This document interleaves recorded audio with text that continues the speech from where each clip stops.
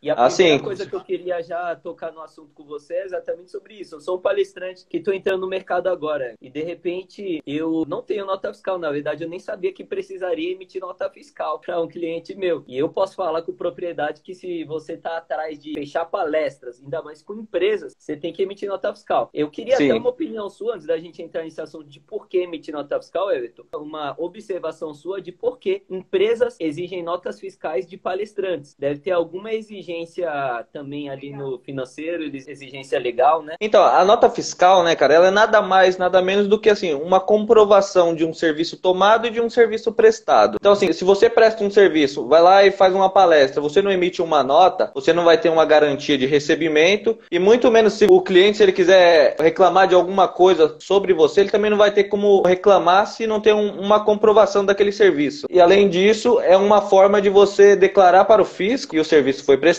quanto que ele vale, né, e pagar os seus impostos em cima disso, né? Então, Entendi. basicamente é essa teoria aí. E o que seria o fisco? O fisco são os governos, né? Tanto estadual, federal, municipal, né? É quem cobra aí daquela mordidinha no nosso dinheiro. Então a nota fiscal, pelo que você falou, é como se fosse uma espécie de contrato, né? Ela me garante, Isso. garante o tomador do serviço também. Isso, exatamente. Então você vai lá e dá uma palestra lá e, e emitir uma nota para o cliente. Deu prazo, o cliente não te pagou. Você pode ir na justiça, você vai mostrar a nota fiscal, comprovando que você emitiu. E aí, através disso, você pode tomar os fins aí, né? Protestar, negativar.